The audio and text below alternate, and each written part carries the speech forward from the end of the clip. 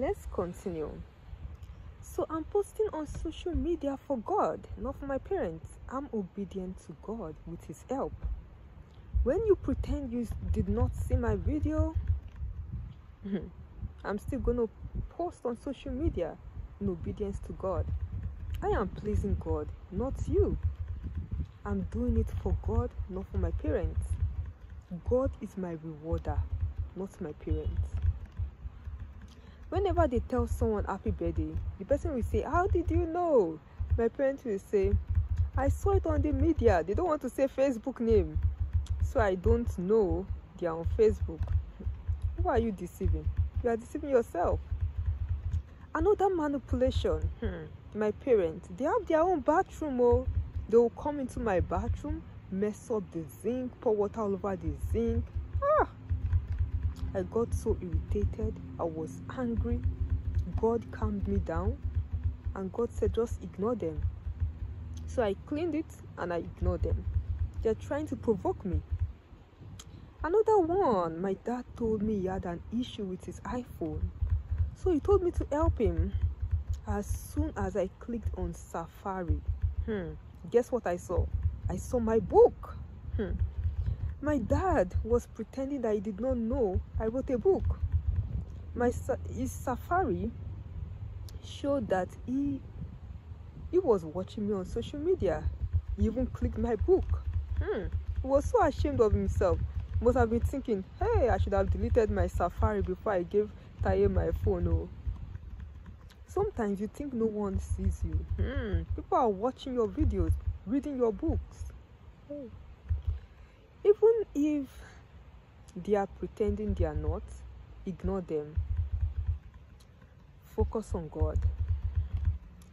Before going on social media god told me a lot of people will not support this call for my life even my family but ignore them. My testimony is not for them. My testimony is for certain people who are going through what i went through.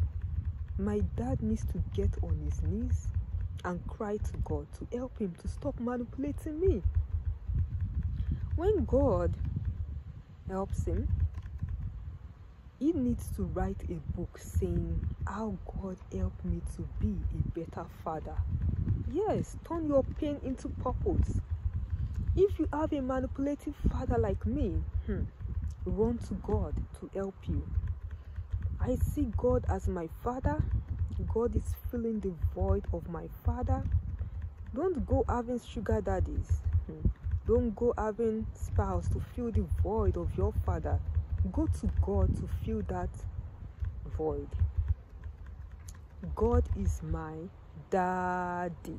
Hey, I have a father. His name is God, Jesus, Holy Spirit, three in one. I wake up saying, Good morning, Daddy. God is my daddy. Same for you too. See God as your daddy.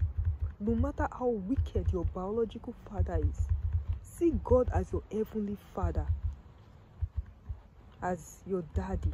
I am that I am. Hmm. That is what God told me to be doing. Anytime I remember my father's bad ways, hmm, and I wonder, hey, B. oh, but I don't like staying outside though. Hey, God, save me. Oh, don't sting me okay let's continue. So i wonder how this this can i wonder how can this be my father? He's so wicked and manipulative. God said ignore him. He will undo him. God said i should not like i should look at him as my father. So god is my father.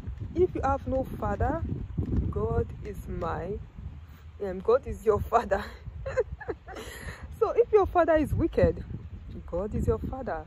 Amen. Praise god